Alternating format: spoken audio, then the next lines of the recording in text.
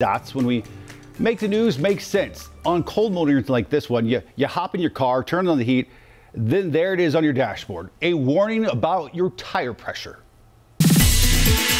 Why does your tire pressure light always come on as soon as the temperatures take a dip?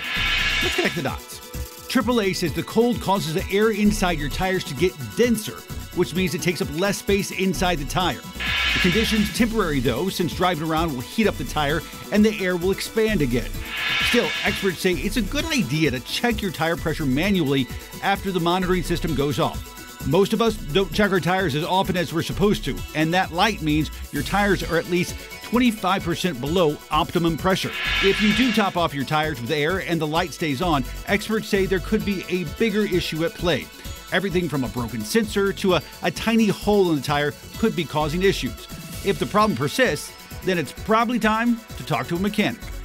And that is connecting the dots.